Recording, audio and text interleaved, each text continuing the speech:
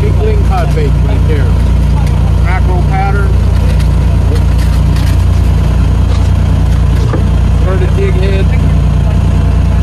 Benadow, they get bit. These teams get bit really, really well. One, Tony here from FS.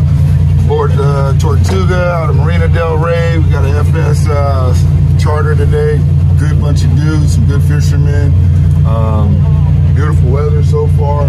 We got Captain Ziggy here running the boat. Great captain. Um, he's gonna tell us tell us what the game plan is today, and wherever he takes us, we're gonna go catch some fish.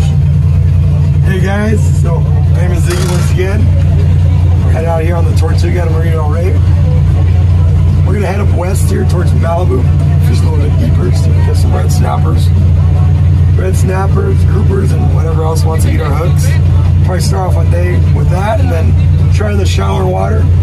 We do have a, a little bit of live squid, so see if we catch a bass or two. Maybe get lucky with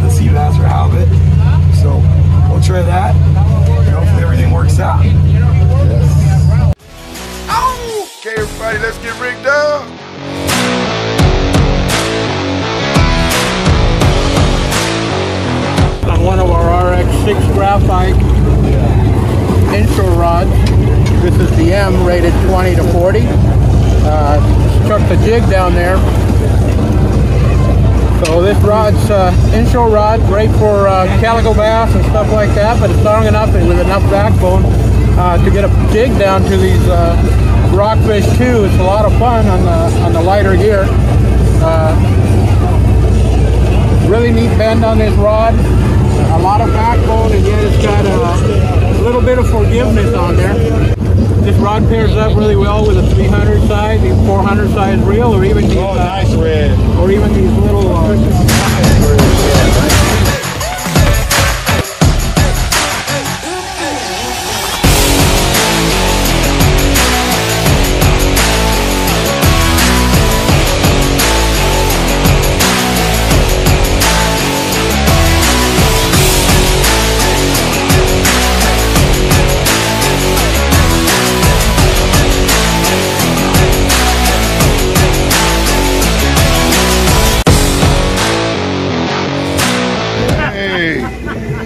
FS out here on the Tortuga. Beautiful afternoon, calm waters. Fishing some rockfish in Santa Monica Bay right now.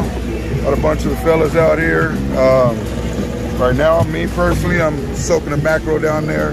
Trying to get me one of those big lings. Fishing my FSC 900L, favorite go-to stick. Rated 15 to 30. Very nice action on it. Loads up beautifully.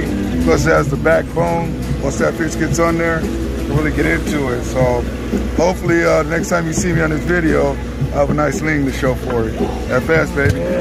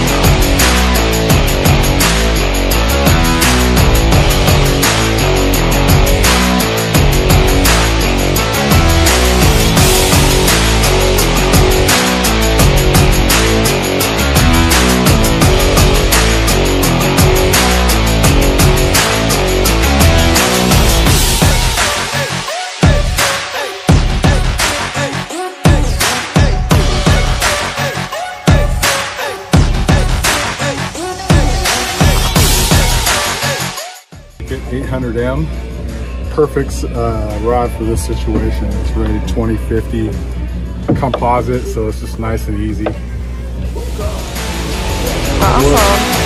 Tell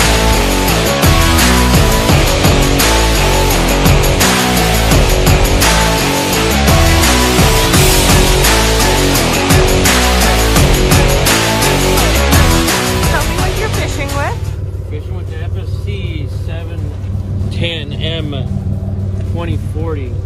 One of the prototypes. I don't know if they've committed yet. Have they committed on them yet? Or? Something that we're working on for next year. Right. Um, It's an overall thin diameter composite rod, very light. Uh, Feels really good. Really nice. Feel everything. Feel all the bites. When you set the hook, you really feel the fish really good. Comes in lightweight. Really nice. Has that forgiving tip and yet a lot of backbone on the back side there with uh, RX6 graphite. Big difference when you're floating on a fish, especially if you're working for halibut, stuff like that, that you're you want that light tip on that rod to be able to load that fish on. You don't want that fish to know until you get to the backbone of the rod. And that's, this is a perfect halibut rod. Well, well that also landed a 35 pound uh, yellowtail Catalina. And Oh, it held yeah. up really well. Good afternoon, everyone. Marcus with Fishing Syndicate. Uh, we're just got through fishing for our rockfish. Now we're gonna go inside, try to catch a bass.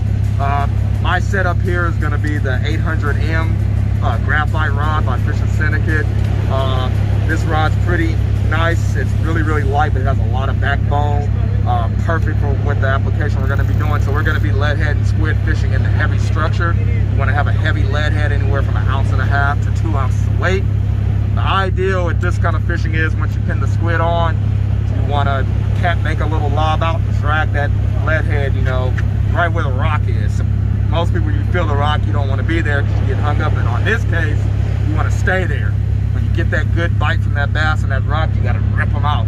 That's what this rod is here for. It's paired with a uh, Lexa 300 right here, just so I can get that high speed, just to get those bass out of there. I'm fishing uh, 40 pound test. This rod is rated 20 to 40 pound test. Uh, you want to use heavy lines so that way you don't get broke off on the structure when you get that bite. So this rod here is just perfect. It's, it's gonna load up on me really nice. It's gonna have just enough backbone to where I can rip that fish right out of the structure as well as I have the sensitivity with the tip where I can feel every little bite when I'm down there. So we're gonna go inside and see what happens. You're pinning on squid. A lot of people hook them one time like this or just weird way like that. If you get bit, it's gonna get ripped off right away. So you wanna use a nice good hook, hook them right at the end of the tail. You get as many threads on there as you can. One, two, three, four. If you can get five, go for five. That way, if you get bit, it doesn't get ripped off. Slow calico on the lead head and squid. Gonna let this one go.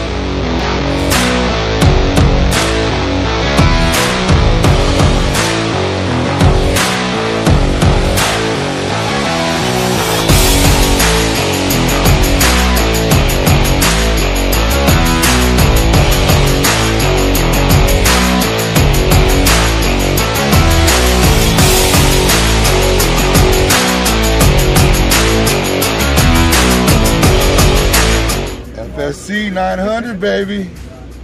900L, rated 1530. That full graphite at the bottom. Nice calico. Oh, nice calico.